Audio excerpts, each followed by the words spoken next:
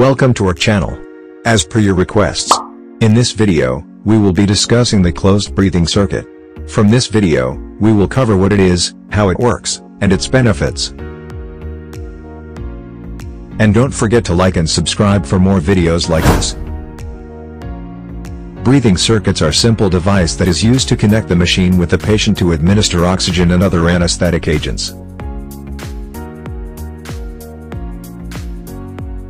It is mainly classified into open circuit, semi-open circuit, semi-closed circuit, and closed. We've already discussed the open and semi-closed circuits in the previous video.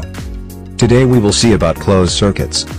Closed circuits refer to the use of a breathing circuit that recirculates exhaled gases back to the patient, creating a closed-loop system. This type of circuit is commonly used in anesthesia and critical care settings, as well as in mechanical ventilation. We usually administer oxygen, nitrous oxide, and other inhalational agents during general anesthesia. Patients breathe in all those things and exhale carbon dioxide and anesthetic gases. Among them, only carbon dioxide is the only waste gas that should not be administered. So a device called a carbon dioxide absorber is used to absorb that exhaled carbon dioxide. After removing that expired carbon dioxide, the remaining expired gas is then to be free to inspire again without accumulation of carbon dioxide occurs. In simple words, the patient rebreathes the same anesthetic mixture again and again. This reduces the consumption of an anesthetic mixture.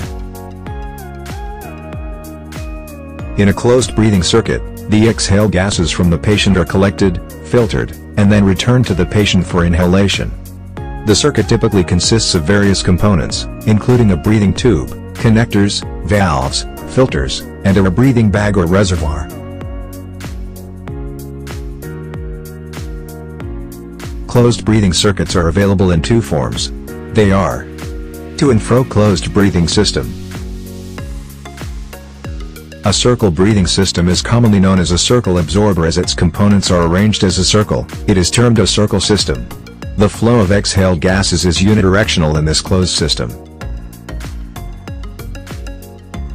In contrast, the to and fro breathing system is a non-breathing system that uses two unidirectional valves to direct gas flow in and out of the patient's lungs.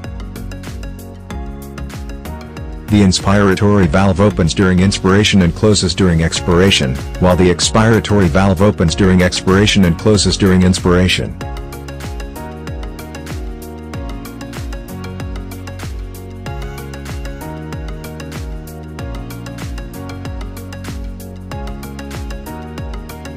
This type of circuit offers several advantages in certain clinical scenarios.